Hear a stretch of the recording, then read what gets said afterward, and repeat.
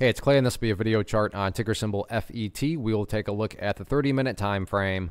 Real quick, what do I mean by 30 minute in case maybe you're new to charts? Instead of each one of these candlesticks here representing one day's worth of price action, which is what you would normally see, each one represents 30 minutes. So all this here may look like several days worth of time. It's actually today's price action broken down into 30 minute time slices.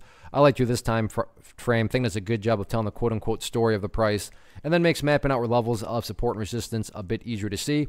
I don't mean to state the obvious, but I will anyways. Very nice movement today, not only from the price action perspective, but you look down here at the volume, well above average volume on the day. So a lot of eyeballs on this one. So let's map out some levels of support and then we can talk areas of resistance. The first level of support is what I would call the ideal level, meaning if you say, hey Clay, what would make this chart look the absolute strongest going forward? And that would be if the price could stay up here above $5.60. Now don't get me wrong, if the price falls below 560, I'm not saying the entire chart is destroyed or ruined or anything like that. But yeah, if the price could manage to stay up above that level, that would definitely be a huge sign of power going forward. Taking a step back and looking at things from more so the big picture point of view, that is where the purple line comes into play, the famous 50 period simple moving average. Keyword being moving. As time goes by, this line here is going to move itself higher and higher. So a very basic yet highly effective way to judge the health of the move that right there being defined as the move. Just watch that purple line. As long as the price stays above that line, as the line itself moves higher and higher, then the bulls are in full health, the bulls are in full control. However you can best visualize that, that is what is being represented. Again, yeah, staying above 560 would be great, but from the grand scheme of it all, as long as the price is above that green line, uh, then, or excuse me, up above that purple line, then the bulls 100% own the chart.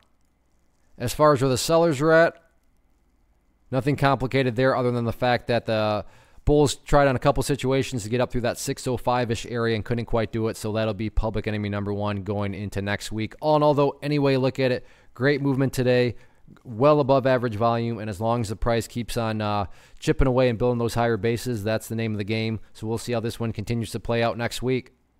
One of the biggest questions I get is, hey Clay, how do you find the stocks that you trade? So what I've done is put together a free resource guide where I talk about the tools that I use to locate stocks that I find interesting and think may have potential. So if that sounds like something that could add value to you as a trader, then click on the image that is up on the screen right now and I will email you the guide. The guide itself is very short and to the point, and best part, it's completely free. Thanks for watching the video. Let me know if you have any questions.